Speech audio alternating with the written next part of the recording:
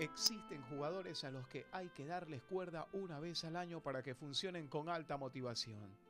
Otros requieren de una atención constante para no desanimarse.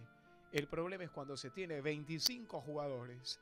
Un entrenador no puede dar empujoncitos psicológicos siempre al mismo. Juan Carlos Burbano tiene envión propio. Inicios. Empecé en la católica en, la edad de 20 años. Le subimos a la católica a la A eh, jugamos en el año 90, 91. Su fútbol parece espontáneo, pero no lo es.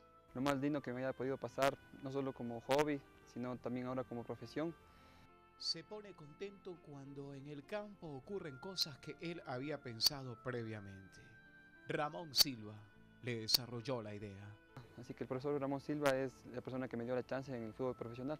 En su formato futbolístico tiene incorporados el atrevimiento y la rebeldía, esa fuerza interior y el impulso creativo para pasar por encima de las malas rachas, por encima de los 50.000 espectadores, sueños y quimeras. Lo único que por ahí eh, no, se me ha cumplido es jugar afuera, eh, en el fútbol extranjero, pero ha habido algunas oportunidades, no se, no se han podido eh, hacer realidad.